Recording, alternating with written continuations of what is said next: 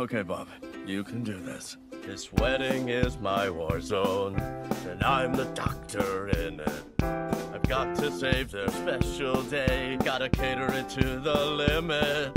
Something so important, our burgers were their cupid. Gotta give Farrah and what's his name a perfect reception to prove my job's not stupid. So do I take this meat to grill just right? I do.